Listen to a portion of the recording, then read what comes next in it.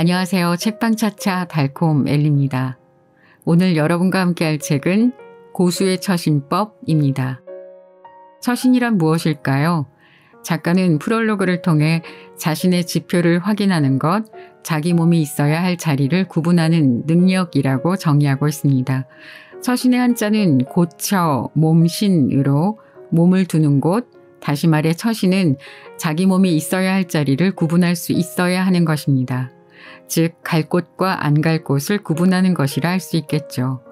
사람들과의 관계에서 내게 주어진 상황에서 적절히 낄끼빠빠 할 수 있어야 올바른 처신을 하게 된다는 말입니다.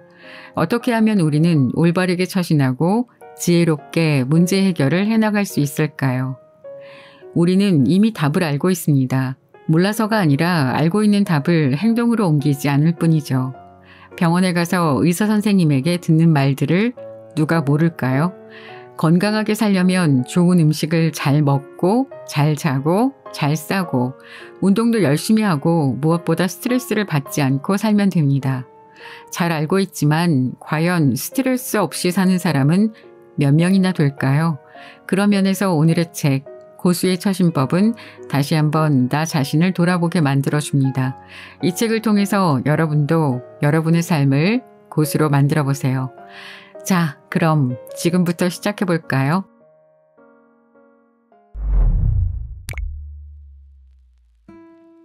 보지 않는다고? 눈치 보지 말라는 말을 자주 한다. 이 말을 들을 때마다 과연 그 말이 옳은 것인지 의문이 생긴다. 같이 사는 세상에서 눈치를 보지 않고 살면 어떤 일이 일어날까? 입고 싶은 대로 아무렇게나 입고 길에서 함부로 행동하고 하고 싶으면 하고 하기 싫으면 안 한다면 이 사회가 돌아갈까? 지나치게 눈치를 보거나 남을 의식하는 건 문제지만 난 눈치를 봐야 한다고 생각한다. 분위기를 파악해 분위기에 맞는 행동을 해야 한다고 생각한다. 관련해 내가 좋아하는 최재천 교수도 비슷한 말을 했다. 나는 남의 눈치를 봐야 한다고 생각한다. 눈치를 보는 일은 결코 수치스러운 일이 아니다. 사회적 동물인 인간에게는 너무 자연스러운 행동이다. 눈치를 보지 않는 사람을 미워하는 경향이 있는데 나는 그것이야말로 반사회적인 행동이라고 생각한다. 모두 남의 눈치를 보며 살면 이 사회는 그만큼 살기 좋은 곳이 될 것이라 확신한다. 노력해도 안 되는 일.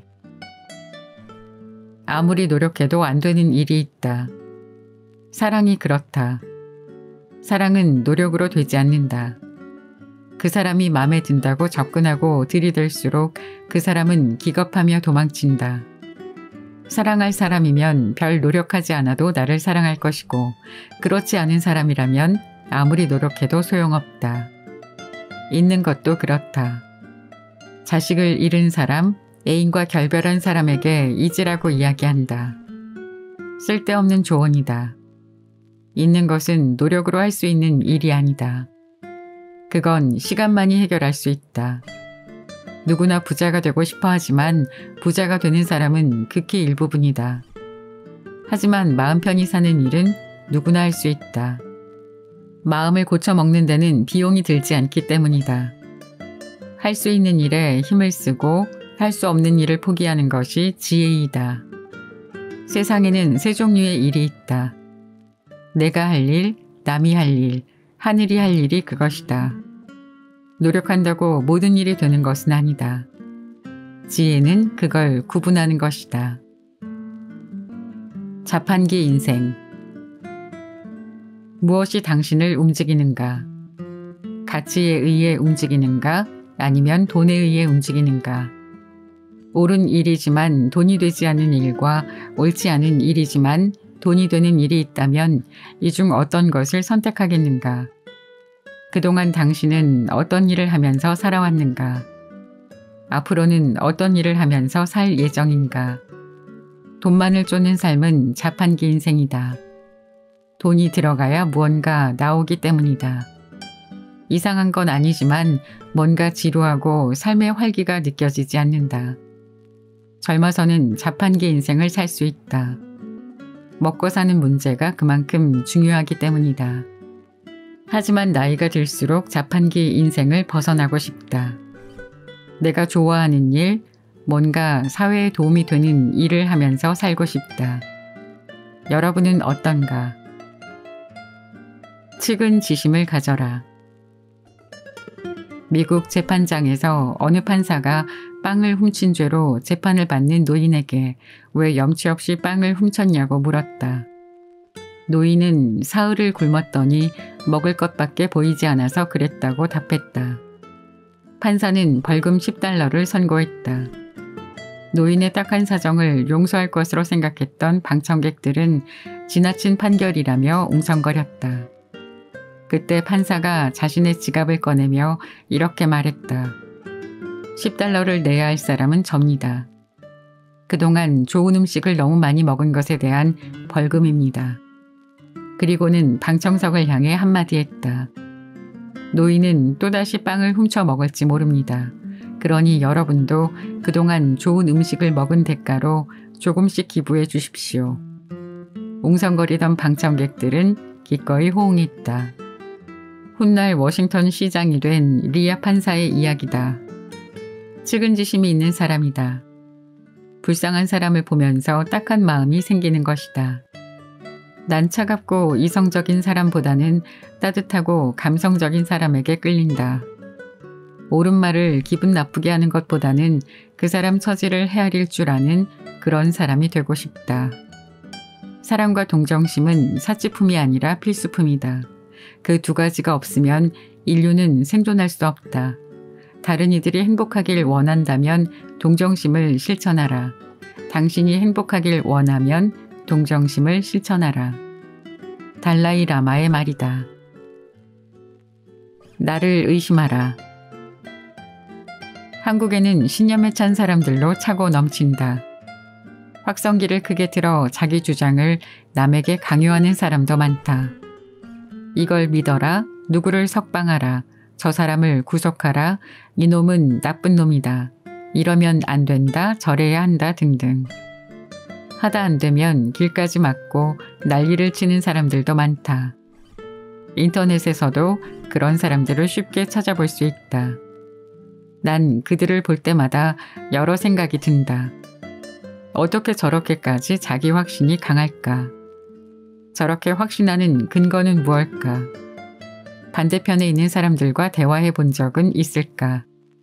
자기 생각이 틀릴 거라는 생각을 해본 적은 있을까? 저러다 자기 생각이 틀렸다는 걸 알게 되면 어떤 일이 일어날까? 난 신념에 찬 사람을 의심한다. 난 이들의 일상이 궁금하다. 최근 어떤 책을 읽었는지, 신문이나 잡지를 읽는지, 누구를 주로 만나는지, 술을 자주 마시는지, 담배는 피우는지, 운동은 하는지, 잠은 충분히 자는지, 가족들과 사이는 좋은지, 자기 삶에 만족은 하는지 등등. 나는 신념에 가득 찬 사람보다 의심에 가득한 자를 신뢰한다. 소설가 김훈의 말이다. 난 신념에 찬 사람을 진심으로 의심한다. 내가 생각하는 신념은 무지의 결과물이다. 하나만을 알기 때문에 다른 모든 것을 부정하는 것이 신념이고 확신이다. 나이가 들수록 확신할 수 있는 게 아무것도 없다. 무엇보다 이런 내 생각이 가장 의심스럽다. 난 나를 의심한다. 생긴 대로 살아라. 자연은 언제나 있는 그대로의 모습을 보여준다. 자연은 꾸미지 않는다. 있는 것을 없는 채, 없는 것을 있는 채 추한 것을 아름답게 치장하거나 위장하지 않고 있는 그대로의 모습을 보여준다. 때가 되면 싹이 트고 잎이 자라고 꽃이 핀다. 굳이 자기 존재를 드러내려고 없는 향기를 풍기지 않으며 색깔을 화려하게 바꾸지도 않는다. 자연이 위대한 것은 바로 그 점이다. 콩 심은 데 콩나고 팥 심은 데 팥난다. 뿌린 대로 거둔다. 뿌리지 않고는 거둘 수 없다. 좋은 나무가 나쁜 열매를 맺을 수 없고 나쁜 나무가 좋은 열매를 맺을 수는 없다. 좋은 사람이 되고 싶은가? 좋은 사람과 일을 하고 싶은가? 최선은 당신이 좋은 사람이 되면 된다. 그럼 좋은 사람이 모인다. 그런데 대부분 사람들은 좋은 사람이 되는 대신 좋은 사람 코스프레를 한다. 좋은 사람 코스프레 한 사람을 좋은 사람으로 착각한다. 그래서 뒤통수를 맞았다는 사람이 그렇게 많은가 보다. 우리가 보지 못한 것. 부자가 되려면 돈이 있는 곳으로 가면 된다. 결혼을 하려면 여자는 남자들이 있는 곳으로, 남자는 여자들이 있는 곳으로 가면 된다. 지혜를 얻으려면 지혜로운 사람들과 사귀면 된다. 현실은 어떤가? 인류가 되겠다면서 삼류랑 논다. 고수는 똑같은 사물을 보면서 남들이 보지 못하는 것을 보는 사람이다. 지혜는 남들이 보지 못하는 것을 보는 사람이다. 일중 견두이다. 대낮에 북두칠성을 볼 수 있어야 한다는 말이다. 대낮에는 별이 없을까? 그렇지 않다. 별은 존재하지만 우리 눈에 보이지 않을 뿐이다. 세상 만사가 그러하다. 진짜 중요한 것은 눈에 보이지 않는다. 지혜로운 자는 보이지 않는 것을 볼 수 있어야 한다. 어린 왕자는 이렇게 말했다. 집이건 별이건 사막이건 그것들을 아름답게 하는 건 눈에 보이지 않는 법이라고. 혹시 난 지금 무얼 보지 못하는 것일까? 우생마사 물에 빠졌을 때 손은 살고 말은 죽는다는 말이다. 둘 중 누가 수영을 잘할까? 손은 못하고 말은 수영을 잘한다고 한다. 이상하지 않은가? 왜 수영 못하는 손은 살아남고 수영을 잘하는 말은 죽을까? 역설도 이런 역설은 없다. 수영을 못하는 손은 물에 빠지면 저항하지 않는다. 그저 물의 흐름에 자신을 맡길 뿐이다. 그러다 사람들 눈에 띄면 살아남는 것이다. 수영을 할 줄 아는 말은 다르다. 어떻게 해서라도 이 상황을 극복하려 한다. 발버둥을 치면서 물을 탈출하려고 한다. 그러다 힘이 빠져 죽는 것이다. 인생에는 정답이 없지만 때로는 발버둥 치는 것보다 대세를 따르는 게 맞을 수도 있다는 걸 우생 마사를 통해 배운다. 말 한마디의 힘. 독일의 유명 작곡가 맨델스존의 할아버지 모세 맨델스존은 꼽추였다. 모세는 어느 날 함부르크에 있는 한 상인 집을 방문했다. 주인집 딸 푸름체에게 한눈에 반한다. 외모상 하늘과 땅만큼의 차이였다. 집으로 돌아갈 시간이 되자 모세는 용기를 내어 푸름체에게 다가갔다. 하지만 그녀는 아는 채도 하지 않았다. 그러자 모세는 이렇게 말한다. 당신은 결혼할 배우자를 하늘이 정해준다는 말을 믿나요? 푸름체는 고개를 밖으로 돌린 채 그래요 라고 답한다. 그러자 모세는 말한다. 한 남자가 태어날 때 하느님은 신부가 될 여자를 정해주죠. 제가 태어날 때 하느님이 너의 아내는 곱사등이다 라고 말했습니다. 놀란 저는 안 된다고 소리쳤습니다. 제 신부에게 아름다움을 주세요. 대신 저를 꼽추로 만들어주세요. 라고 말했습니다.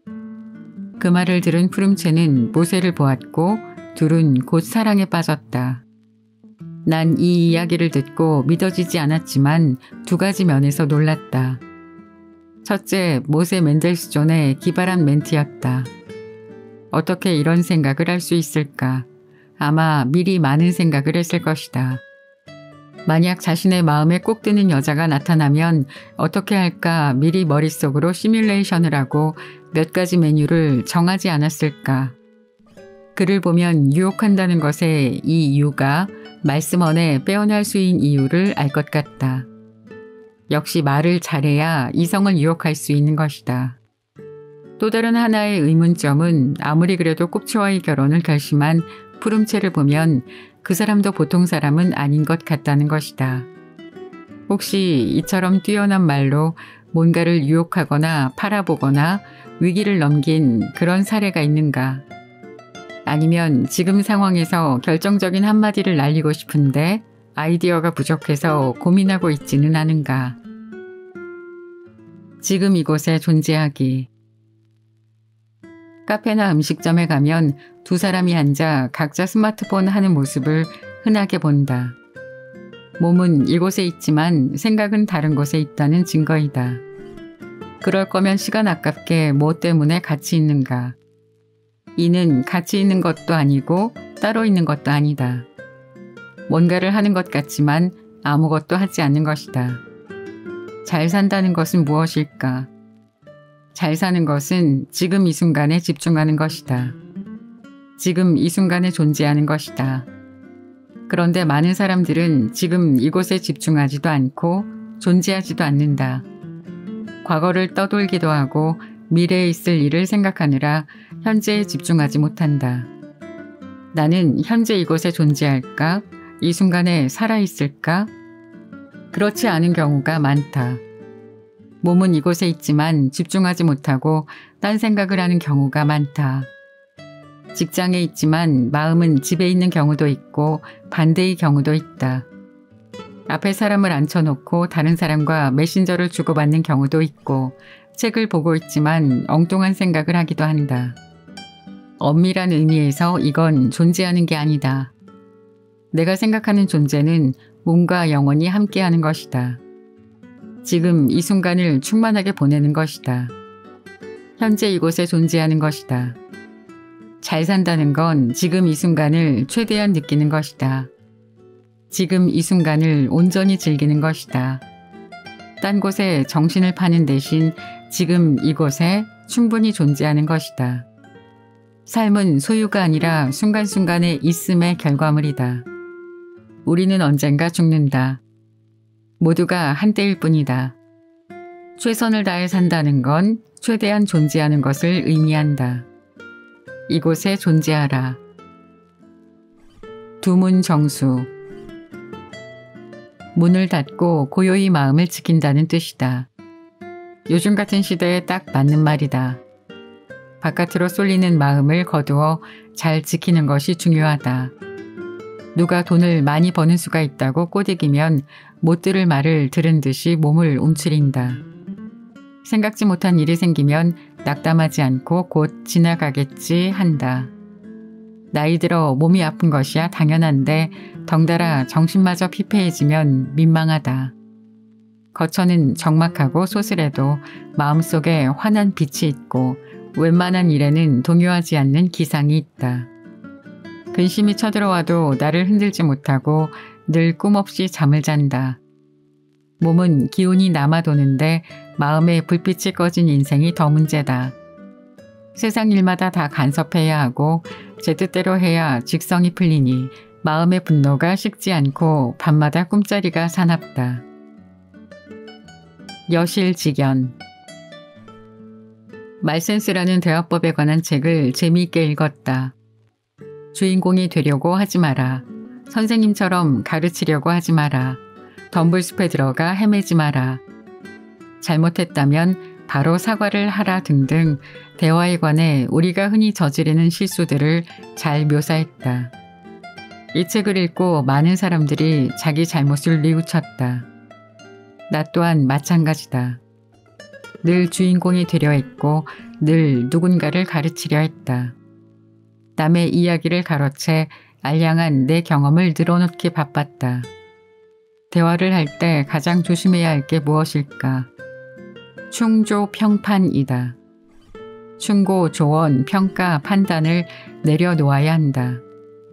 상대는 충고를 원하지 않는데 우리는 기꺼이 충고를 한다. 그럼 둘 사이에 금이 간다. 상대가 원하지 않는 충고는 원수가 되는 지름길이다. 평가와 판단도 그렇다. 상대를 잘 알지도 못하면서 혼자 미루어 짐작하고 판단하고 평가한다. 다른 사람과 제대로 소통하기 위해서는 평가와 판단을 내려놓아야 한다. 장자는 이를 심재라고 했다. 마음을 목욕제게 시킨다는 말이다. 상대의 말을 들을 때 자기 생각으로 가득 차 있으면 상대 말이 들리지 않는다. 고정관념과 선입견이 가득하면 상대의 말을 순수하게 받아들일 수 없다. 이럴 때는 여실직연이란 말을 기억하면 좋다. 불교에서 말하는 최고의 경지다. 지레 짐작으로 판단하지 말고 자기 마음을 내려놓고 상대의 이야기를 있는 그대로 들으라는 말이다. 수용의 기쁨. 배우자를 변화시키는데 성공한 사람이 있을까? 없다. 배우자를 변화시키는 건 불가능에 가깝다. 자녀도 그렇다. 공부 안 하려는 아이를 공부하게 만드는 건 보통 일이 아니다. 변화시킬 수 없는 걸 변화시키려고 노력하는 건 어리석은 일이다. 반대의 경우도 있다. 변화시킬 수 있지만 변화시키는 노력을 하지 않는 것이다. 몸이 대표적이다. 남산만한 똥배를 가지고 다니는 사람들에게 이유를 물어보면 변명이 가지가지다. 회사 일로 매일 술을 먹기 때문에 스트레스를 먹는 걸로라도 풀어야 하기 때문에 과연 그 말이 맞을까? 말도 되지 않는다. 이처럼 변화시킬 수 있는데 변화시키지 않는 걸 게으름이라고 한다. 그렇다면 둘을 구분하는 건 무엇이라고 할까? 그게 지혜다. 지혜는 변화시킬 수 있는 것과 변화시킬 수 없는 것을 구분하는 능력이다. 많은 사람이 불평과 불만으로 시간을 보낸다. 어쩔 수 없이 지겨운 일을 해야 하고 어쩔 수 없이 마음에 들지 않는 인간과 산다고 한탄을 한다. 우리에게는 늘 세 가지 옵션이 있다는 사실을 기억해야 한다. 바꾸거나 받아들이거나 아니면 떠나는 것이 그것이다.